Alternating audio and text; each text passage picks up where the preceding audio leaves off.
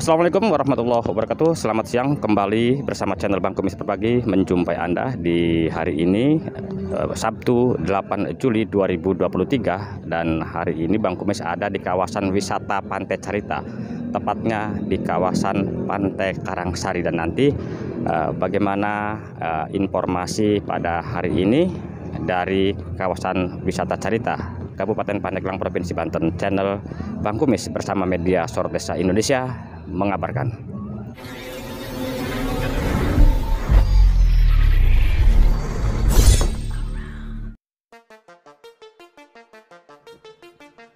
Sektor pariwisata di Kabupaten Pandeglang kini terlihat mulai menggeliat setelah berlalunya COVID-19.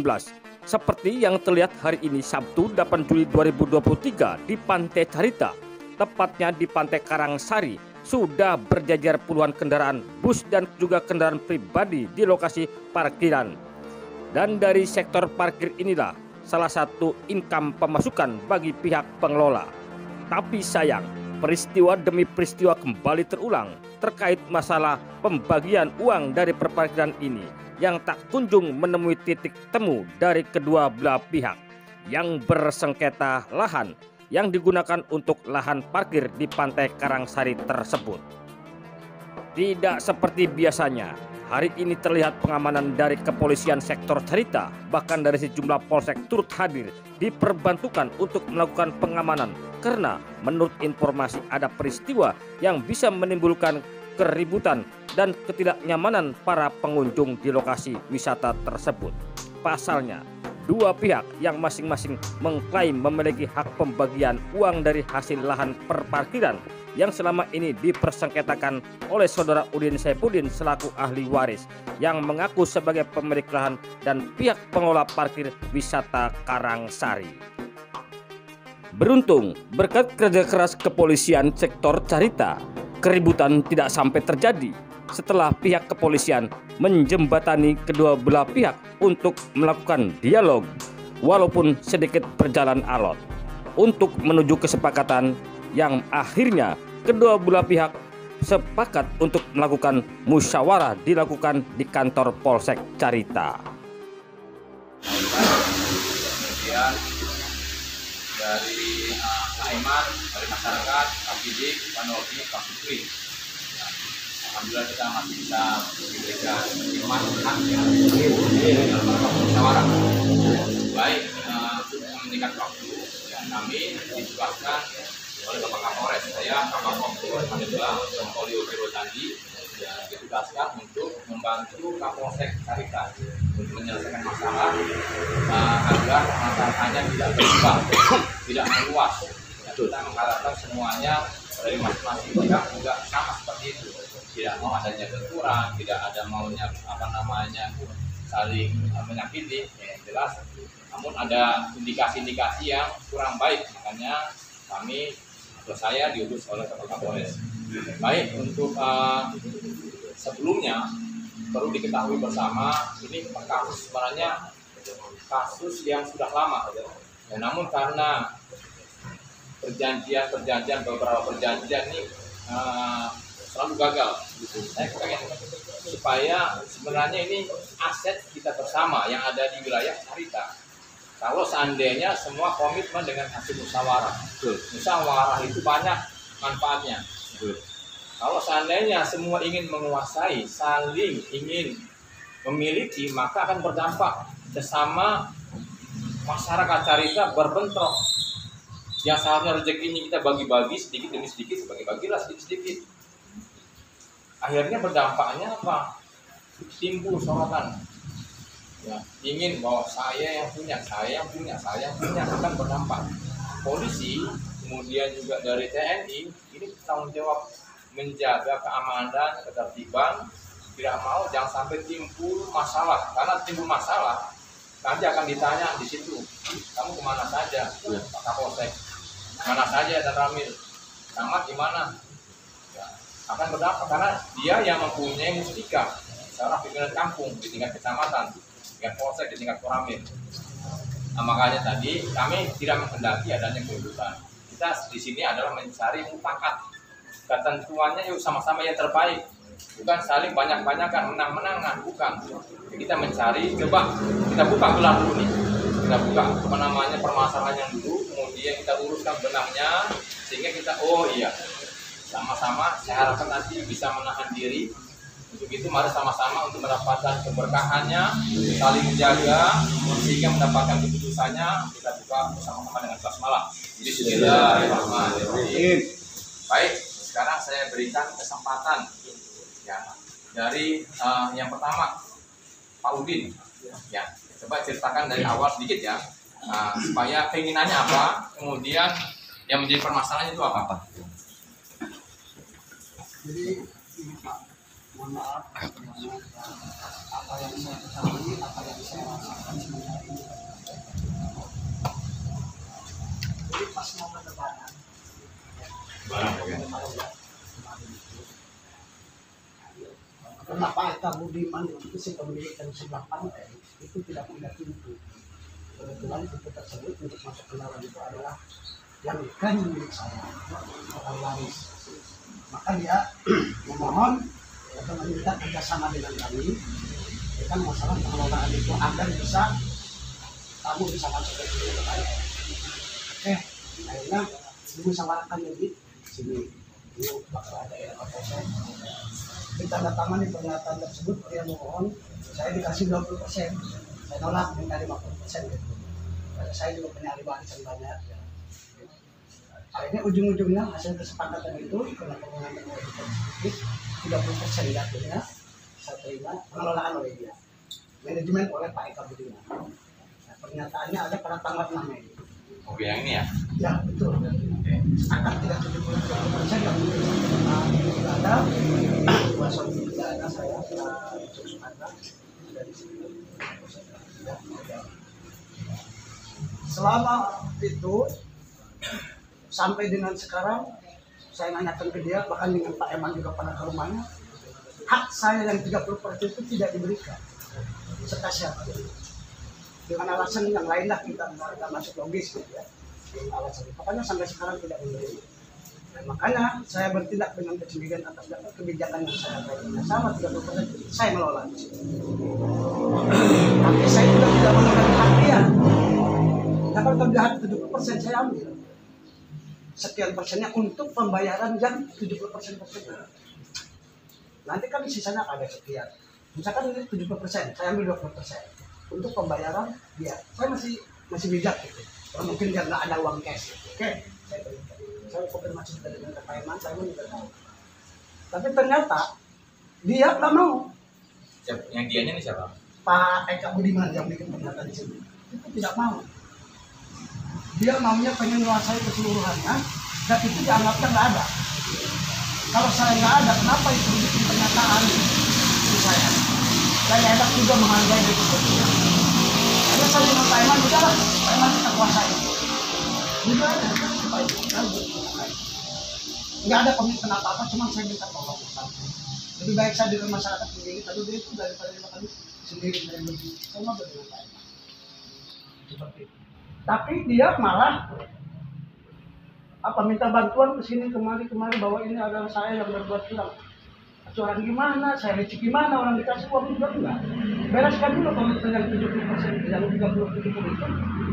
Nggak ada apa-apa lanjut lagi kita pengelolaan. Mau dia yang pengelola enggak?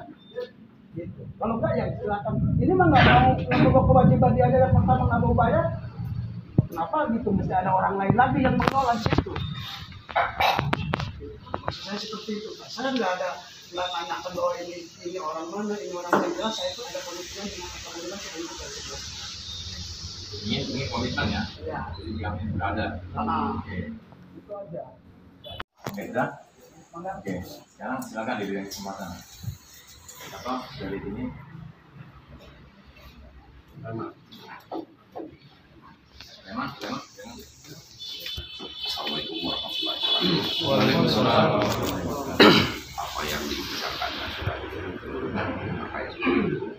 tapi saya komitmen itu saya tidak tahu karena itu waktu lebaran ya, jadi ya waktu lebaran bahkan lebaran sudah ada gesekan, baru hantam kan di situ dengan ahli waris Eka Budiman dan Udin. Jadi tadi yang musuh nih ceritanya nih, gitu. Atau itu yang itu musuh ceritanya kemarin ya. Dan di situ tidak kondusif, makanya terjunlah kita sebagai wakil dari Bapak Pemuda. Memantau situasi dan kondisi di lokasi tersebut. Sudah kita bahas alhamdulillah situasi BPKB di situ semakin nggak ada tuh. Dari diri lah. Karena permintaan kita tolonglah. Tempat wisata kan itu. Betul nggak? Bahkan inilah yang mendorong membubarkan hari budur kan itu. Gitu. dan sudah itu tim tetap ada dari pihak sana masih ada dari pihak ahli waris ini masih ada sifatnya apa namanya serahkan ada kenapa tadi itu komitmen belum jelas kali ya. Baru lokasi pantai saya kan ini di Tua Surabaya ini tuh ditutup. Nggak boleh ada yang ke sana mobil harus ke sini terus. Hari Sabtu dan Jumat lah Sabtu saya menggunakan diri kenapa ada surat dari pedagang yang melaksanakan memohon ke kita gimana caranya? Ini terisi gitu karena kami merasa rugi dan kami butuh keadilan kan gitu.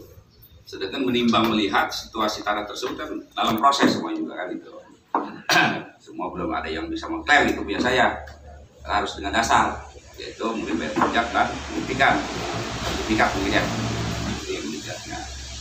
akhirnya kita bersama-sama dengan pedagang ternak membenahi itu. Dan membenahi dan kita pun mohon ke Pak untuk untuk perlindungan lah karena itu masih aset tenda kan itu. Jadi kerjasama yang baik dengan tenda alhamdulillah itu terbentuk. Sementara ini yang paling ada putusan yaitu Eka Budiman. Makanya kita kerjasamalah dengan Eka Budiman. JPK jangan sampai kita ini ada yang dirugikan jadi sama terjadi nah udah gitu. Kemarin kita membenahi apa namanya? Kapura. Gapura kan itu disebut dengan atas izin dari Desa. Tanda. dari apa namanya? Gapura tersebut kita uh, terhadap rapuh timbul lagi permasalahan saya dilaporkan. Dan ada buktinya di laporan ya. Itu bahwa saya merusak aset itu diklaim oleh Cuk sebagai pengelola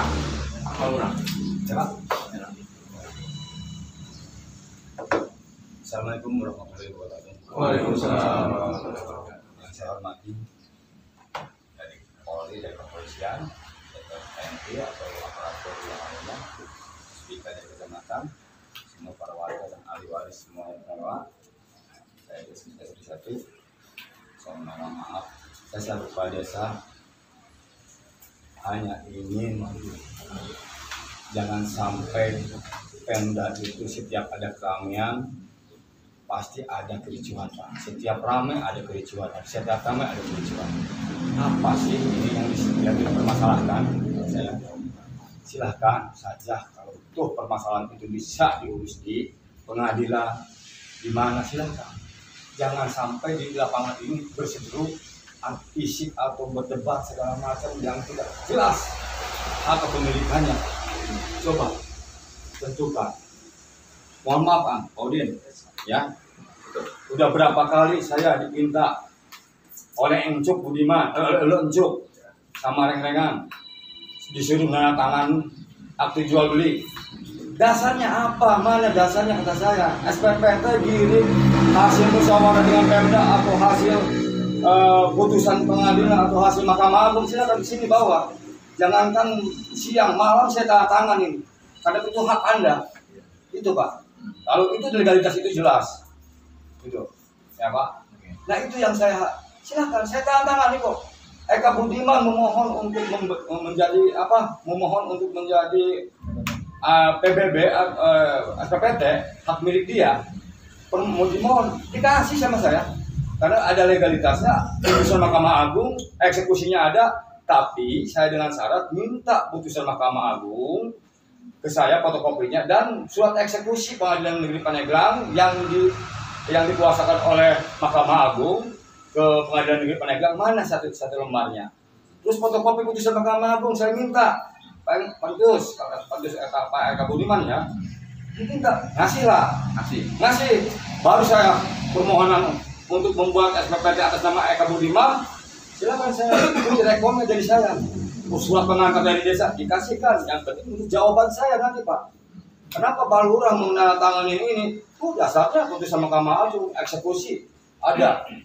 Dasarnya saya itu saya mengacu ke situ pak. Legalitas adalah walaupun itu belum hak kepemilikan yang sah ya pak ya. Maksudnya eh, apa SPPT terbit gitu pak. Nah itu dia memohon wajar saja warga ingin membayar SPPT membayar pajak segala macam biar masuk APBD ya. Itulah pak. Wajar saya itu permohonan itu saya laksanakan. Tapi ini jual beli ya. Jual beli diangsur ke saya. Ini pertama dia mem- memutus ini. Berdua sama Nurdi mana Nurdi? Ya samping. Bawa bawa AJB ke saya. Apaan? Kata kata beliau kalau masuk akal tangan nggak masuk akal jangan ditandatangani Pak Lurah. Kata kata Eman ya betul kan? Betul ya. Dipelajari sama saya. Kan man bawa lagi aja sana nggak bagus nih bawa lagi. Saya juga dasar SPPT dan giring aja pak. Hasil musyawarah atau hasil putusan Mahkamah Agung hasil putusan negeri Paneglang silakan hasil musyawarah dengan Pemda. Silakan mana sini selesai. Kertas aja saya kasih. Ditandatangan sama saya pak karena di situ ada klaim Pem ini masih tidak tanah milik Pemda di situ juga. Bingung saya. Nanti saya ranahnya bagaimana pak? Kejerat saya nanti kalau saya melaksanakan. Itu ya kenapa? Mafia tanah sekarang di mana-mana lagi dibidik pak. Termasuk kepala desa yang paling utama ya kalau saya salah menandatangani pasti saya dibawa ke ranah hukum. Sedikit saja saya salah menandatangani itu aja pak. Tolong makanya ke- kenapa saya libatkan ke para ketua pemuda sedesa Sukarame kenapa? Biar masuk masyarakat yang mengelola selama masih para mengklaim. Baik Pemda maupun ahli waris silakan bersa- bareng-bareng bersama-sama. Silakan selama ini. Belum ada keputusan yang baik. Yang konkret. Nah, itu. Silakan. Yang penting jangan ada uh, perseteruan fisik segala macam di lapangan. Intinya ada ada macam selama proses ini masih berlanjut di Mahkamah Agung maupun di pengadilan negeri mana gimana aja. Selagi masih ditempuh musyawarah silahkan bersama-sama. Kata saya seperti itu pak. Jangan sampai ada apalagi fisik di situ menimbulkan mengadu domba antara ormas dengan ormas. Saya nggak mau. Seperti itu. Ayo makanya minta persetujuan pada RT RW saya untuk mendukung ini eh, supaya semua eh, jangan sampai ada semua ormas masuk semua lembaga lain masuk. Yang penting urusan karena itu terjadinya di, di desa Sukarame yang bertanggung jawab adalah masyarakat masyarakat desa Sukarame pak setiap ada kericuan di desa Sukarame aja yang bermasalah pak hanya jadi penonton kita ini yang memanfaat orang-orang luar ini pribumi aja jadi kena getahnya aja pak kesepakatan ini. Nah, ini kan sudah ditandatangani oleh dua dua pihak nih. Betul. Nah, sekarang makanya saya ini kan yang ditandatangani Ya, itu ada. Eka Budiman. Ya. Nah, kan kemudian Budiman juga ada Pak. Nah, kemudian bisa nggak dikembalikan lagi? Ini perjanjiannya artinya dilaksanakan. Kita sudah sepakatan dulu pernah kenapa di diingkari saya pengen tahu. Pak Eka Budiman nah, saya pengen tahu sebenarnya apa jawabannya Pak Eka Budiman terkait masalah ini? Tadi bisa menjawab? Ya, itu kan bilang di luar lagi kan. Dan kami perlu hadir beliau sama-sama dengan kita yang pertama kemudian yang kedua adalah bisa nggak Pak? Gayat mengundang Pak Camat hadir Enggak, besok, besok, oh besok. Nah, bagi kita rumahnya adalah tolong dihubungi. Supaya biar cepat selesai kalau nggak. Ya apa yang nggak ya masih ada waktu nih? Nah rapat dan di mana pak? Ah di polsek aja atau? Nah, kalau di polsek aja nggak ada ya. Nah, di polsek aja ya. Sepakat ya. Di berapa kira-kira? Di berapa kira? Sepuluh jam sebelas sepuluh sepuluh sepuluh ya jam sepuluh ya Nah, kita pengen disampaikan undangannya dari Pak Kapolsek. Pak Camat yang hadir, kemudian Pak Antus, kemudian ahli waris, kemudian perwakilan nggak banyak-banyak. Ya, ada sekarang ada ya. Kemudian karena tadi ini nggak bisa memutuskan, betul ya, betul ya, sepakat ya. Jadi untuk keputusan musyawarahnya yang ditunda supaya ada kepastian karena yang punya kewenangan sama pansus ini harus hadir kalau nggak ada nggak bisa Ya. Ya, saya rasa itu aja ya. Jadi mohon maaf kalau seandainya hari ini belum bisa mengambil keputusan karena tadi yang punya kebijakan belum hadir. Eh, selamat sore Pak Yogis. Oh, selamat sore. Pak, gimana eh, hasil musyawarah eh, tadi Pak? Bisa dijelaskan kepada publik Pak?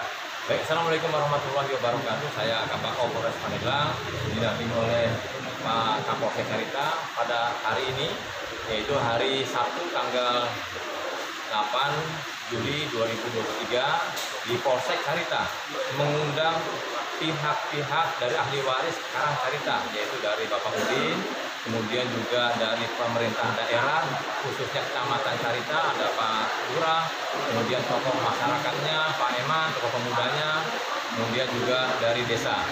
Pada kesempatan hari ini, tadi sudah kita musyawarah, sama-sama kita mencari solusi yang terbaik. Kami selaku Muspika dari Pak Kapolsek, kemudian dihadiri oleh dari perwakilan camat dan Ramil, sama-sama mengajak, yuk kita selesaikan ini dengan baik dengan cara musyawarah. Hasil musyawarah tadi ada beberapa hal yang menjadi keputusan bahwa untuk menyelesaikan masalah di sini adalah orang-orang sini, masyarakat sini yang akan dipimpin nantinya oleh Muspika. Nah, kemudian pada hari ini belum ada keputusan karena Pak Camat sedang berhalangan tidak bisa hadir, kemudian juga Pak Entus juga belum bisa hadir, sehingga dibuat agenda ulang rencananya yaitu hari Minggu ya tanggal 9 Juli 2023. Kami mengharapkan mari sama-sama kita selesaikan permasalahan ini dengan kepala dingin, kemudian dengan musyawarah, tidak menggunakan kekuatan atau dengan kekerasan. Kita gunakan dengan kepala dingin, kemudian kita cari yang terbaik. Ya, di sini ada musyawarah muspika, itulah yang terbaik. Apa pun hasilnya, saya harapkan semuanya bisa menahan diri. Walaupun tadi proses ini belum belum ada inkrah ya terkait masa masa masih status quo, kita musyawarah yang terbaik. Pak, sebenarnya yang dipersoalkan eh, publik juga pengen tahu apa sih Pak sebenarnya ini persoalannya gitu loh Pak. Baik, permasalahannya adalah masalah tanah lokasi wisata di Karangsari yang intinya adalah pembagian hasil daripada parkiran yang masuk sehingga nantinya semua masyarakat, semua pihak bisa merasakan UMKM bisa berjalan dengan baik, kemudian masyarakat bisa bekerja dengan baik, perdagangannya, kemudian juga wisatawan yang datang juga bisa datang dengan baik, sehingga bisa ke Carita di sini dengan nyaman, tidak ada uh, merasa terganggu. Banyak tambahan dari Bapak Kapten. Cukup. Terima kasih Pak. Baik, terima kasih atas semangat dan jaga kekompakan. Salam sehat dan bahagia. Assalamualaikum warahmatullahi wabarakatuh.